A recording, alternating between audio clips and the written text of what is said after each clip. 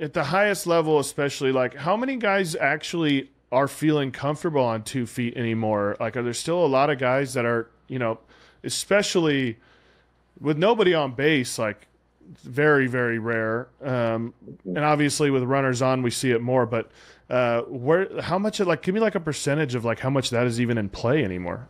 I would say like 25% of guys. And I Yeah. was working with a minor league guy the other day, and saying that his org wanted him to go on two feet. And he's like, dude, I'm lost. Because I haven't had to deal with this instability in so long.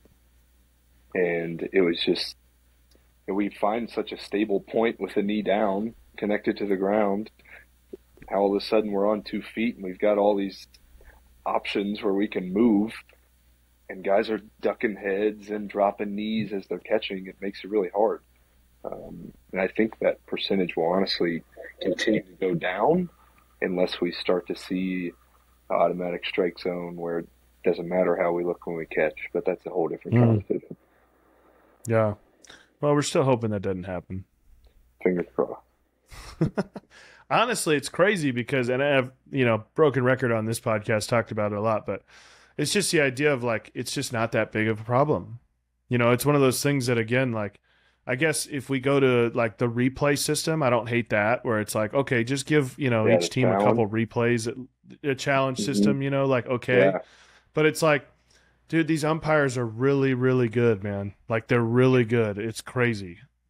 Yeah, I tell you, you want some fan engagement. That's a big part. You know, cut down game times. Put the uh, put the TrackMan up on the up on the jumbotron and replay the pitch. I bet you there'll be some engaged fans. That'd be awesome. Yeah, and you Just- know, tennis has it. Tennis puts just it up boo there. him and then Yeah. booing the umpire the whole time and yeah No, that's a good point the tennis one's great that's a great idea like that would be actually super cool like you do a, a, re- a challenge yeah how do they even Yeah. do that in tennis It's a great question. I don't know, like but they got like sensors on the ground and stuff or is it just all video? I want to say it's a very similar technology to what professional baseball has in Hawkeye. Pretty sure that's where Hawkeye came from was tennis. And it's like a system of cameras that's capturing basically every movement that happens on the court or field. Um, That one- I mean, it's, that it's one- wrong. that one's insane because you know like the ball like in tennis it like compresses too so it's like it, like the ball like is like a bigger mark on the ground than it actually hits so i'm like that one seems impossible to judge if it hit the line or didn't it's yeah, insane some of these shots are over 100 miles an hour. yeah So if we can do that, then I mean the technology is already there to do the strike zone because they've done it in the lower levels of minor leagues.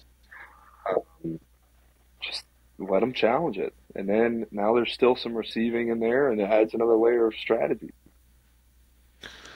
and again like there's also just when you're talking about wanting something to uh, be attractive to the fans like there's there's a huge issue with the like the couple of clips that you see uh, were like in AAA or I think it might have been like in the Atlantic League when they first started there where it's like a guy just like catches a ball like this and then like wait a second and the umpire's like strike three. And you're like no like that's just that that's not to me and again I'm a catching nerd so I'm on that side but it's like just the idea of like do people really are people really going to be okay with that like it just doesn't seem like that would be okay even to a casual fan Yeah, I agree, and they've also done some stuff to improve that system, um, but I think human error is part of the game. It has been since since when it came, like when it since existence. So why not? Like Yep. players make errors all the time. Pitchers make bad pitches. Hitters strike out, and now we want to crucify the umpire because he misses three pitches a game.